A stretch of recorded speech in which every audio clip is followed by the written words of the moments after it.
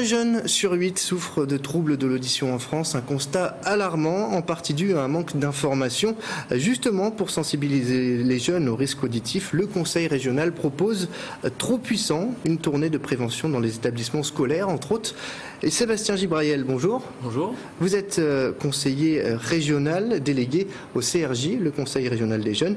Alors tout d'abord, pourquoi cette opération? Euh, Les jeunes écoutent-ils la musique trop forte? C'est ça le problème?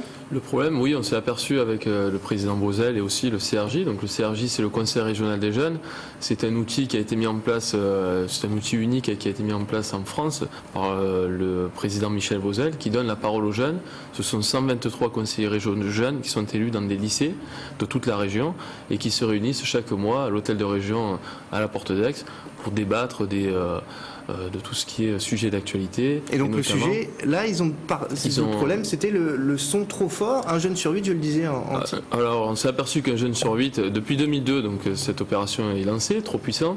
On s'aperçoit que de plus en plus de jeunes utilisent euh, des MP3, des MPK, des Walkman et participent à des soirées, à des concerts, des rêves parties, du tuning, etc. et écoutent la musique très fort.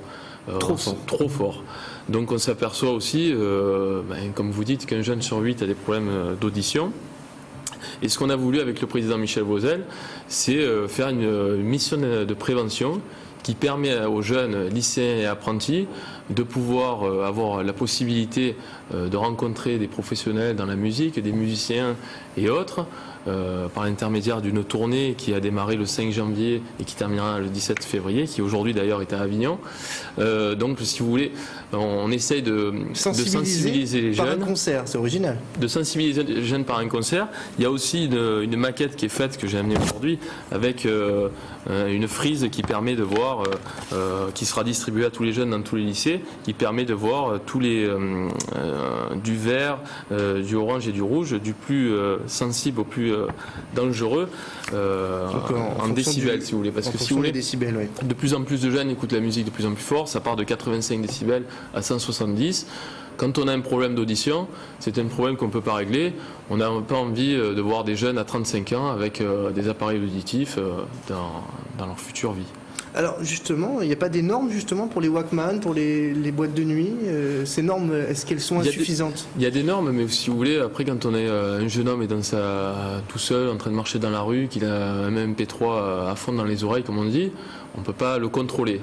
Alors euh, peut-être que la mission qui a été mise en place par la région permettra ces jeunes de pouvoir savoir ce qui se passe, de pouvoir prendre des, préventions et voilà, comme on disait tout à l'heure, d'être sensibilisé sur le risque de. Euh, nous, ce qu'on veut, c'est on ne veut pas voir les jeunes, on veut un bien-être pour les jeunes de notre région. Donc c'est un dispositif unique en France, Trop puissant est un dispositif unique en France. Et justement, quel conseil vous préconisez pour qu'ils préservent leurs oreilles? Écoutez, qui, participent à l'opération Très puissante, donc là, ils auront toutes les, euh, toutes, euh, les, informations nécessaires, mais euh, c'est de ne pas écouter la musique trop fort, participer à des soirées, à mettre des, bouchons aussi. Peut-être pas mettre des bouchons, mais c'est vrai que dans certains, musiciens nous conseillent selon le, type de concert, de mettre des bouchons, pourquoi pas, oui, on le propose aussi. Faire des pauses aussi, j'ai vu ça. Faire des, faire des pauses aussi, euh, faire euh, aussi euh, écouter la musique, pas se mettre à côté d'une baffe, pas se mettre à côté de, tout ce qui est enceinte vraiment volumineuse qui envoie beaucoup de son. Donc on essaye de, de voir d'une distance par exemple de 5 mètres d'une enceinte, etc.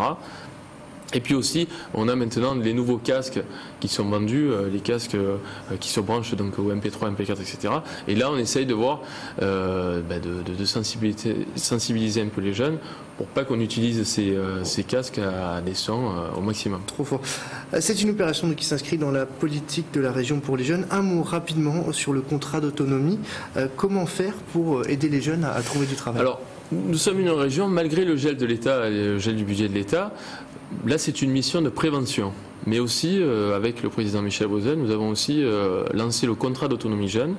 Donc là, qui, est vraiment euh, ouvert aux familles et aux jeunes. C'est-à-dire, on a par exemple quatre dispositifs phares, comme la carte ZOO, la carte ZOO qui permet aux lycéens et jeunes apprentis d'avoir une carte et de circuler avec les trains SNCF, les trains, les TER, domicile études gratuit et domicile autre qu'études à 50%.